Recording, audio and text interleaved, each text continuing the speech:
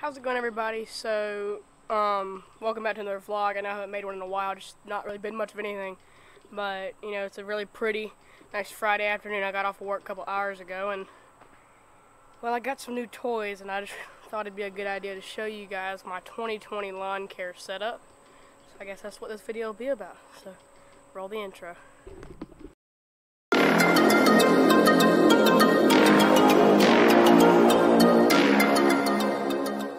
To start out, we've got the weed eater.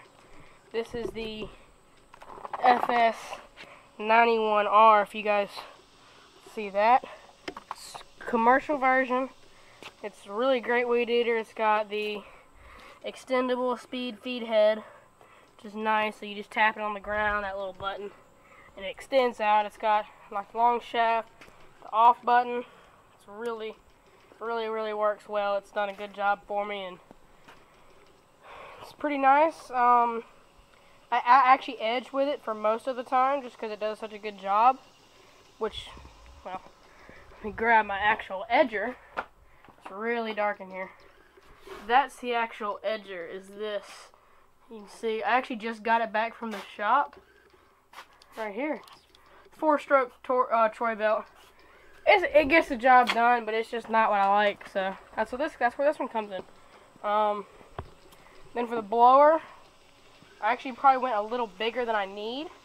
Um, I could have gone handheld, which is probably what I should have done, but I just decided, hey, why not go ahead and splurge on something a little nicer. This is the BR350.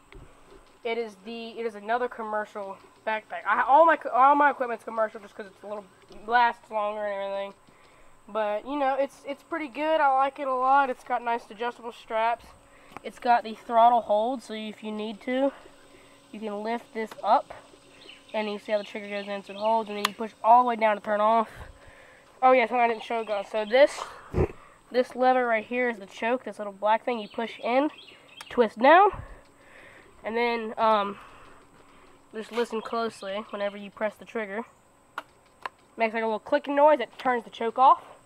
Same with the weed eater you put it on choke then you pops back but yeah, that's pretty much all in my 2020 lawn equipment. It's not really much. It's not anything fancy, but it gets the job done for the seven yards that I have, just making a little side money. So they definitely work, that's for sure. And I guess we might as well get on to the sounding of all the mowers, start up of all the mowers and equipment. Okay, the blower runs pretty nice.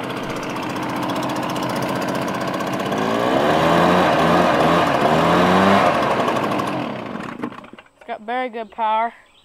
I've actually had the weed eater for about two months now. Blower not as long. Or no, sorry, the blower I've had for about three months. The weed eater about two months. So it really works though. And you gotta start. Put it on half choke. This is the only one I've ever had a startup problem.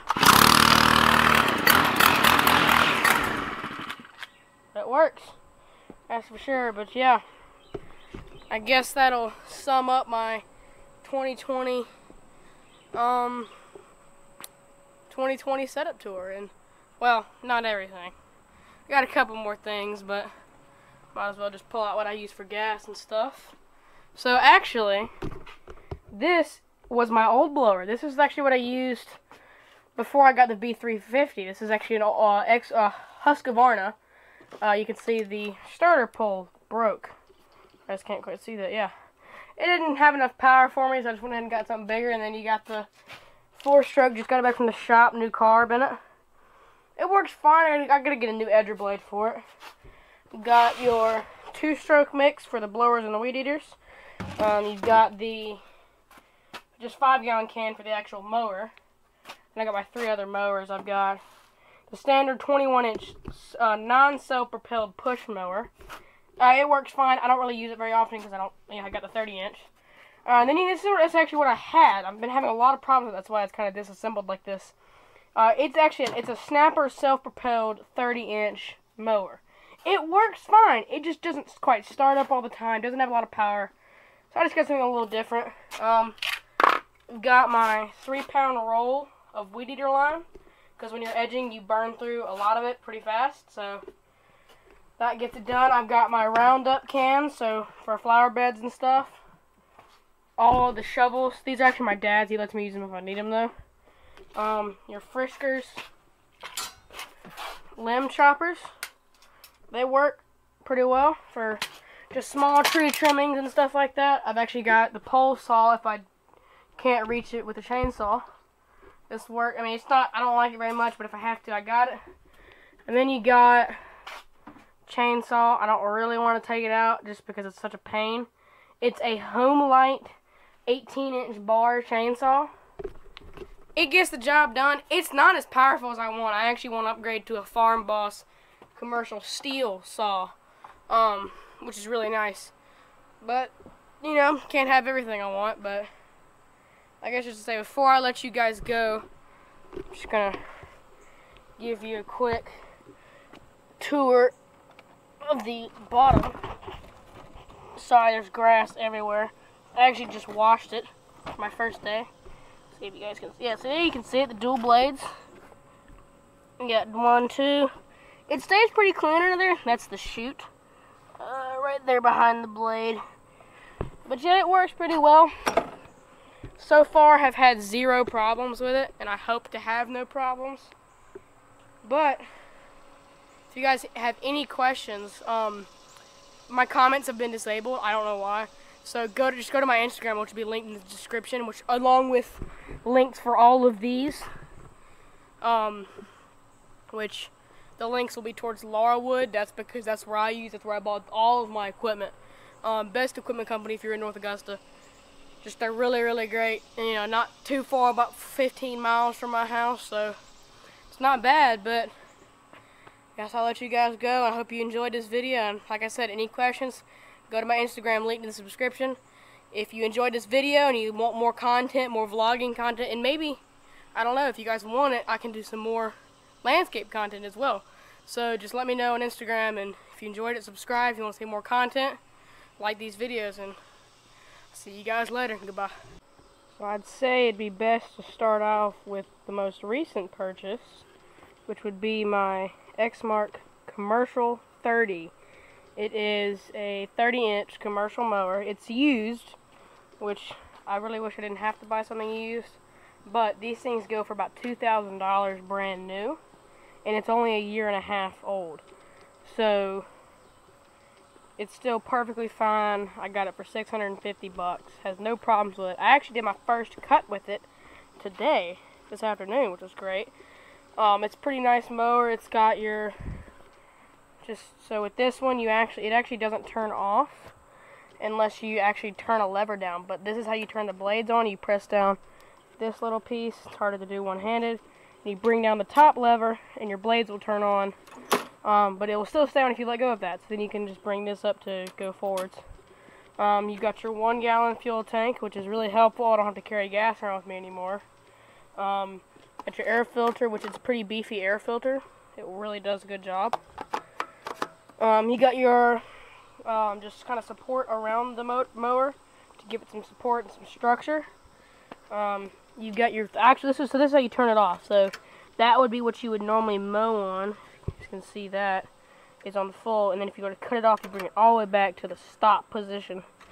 Um, it's got the fuel filter, oil filters, um, and then you got your bag, of course, which is a little bit it's a little raggedy. I'm actually probably gonna buy a new bag but it gets the job done. Um, for the back, this is how you raise and lower it. You grab this lever, you pull up, and to lift up, you pull it up higher, and you let go, and it'll go back down. I keep it on about two and a half inches, because it's just a good cutting height in my opinion. Um, then you've got the front tire adjustment, which for that, you just lift this up, and then the wheel, it's hard, it's so hard here. Let me set you guys up. See if this will make it a little bit easier. For you guys to see how it works, just so you get a good idea. So you've got lift up, pull out, and then your wheel, your whole wheel has come out, and then you look, it has a little number adjustments on it, and you lift it back up, pull your handle, still a little tight because it's not very old. There you go. And you can adjust the wheels like that.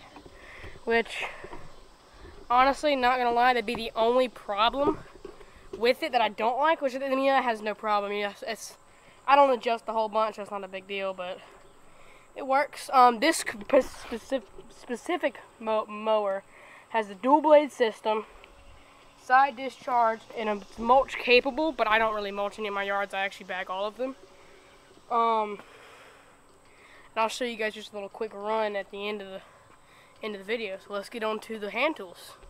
So I'd say it'd be best to start with the mower before anything else, so you can put it on choke, and then you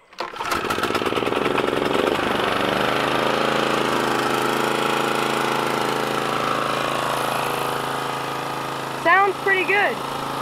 Um,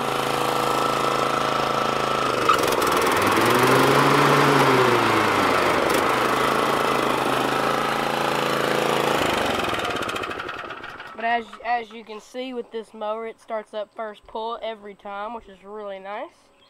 It definitely helps with efficiency on the jobs. Um, next thing is, got the blower, put it on choke,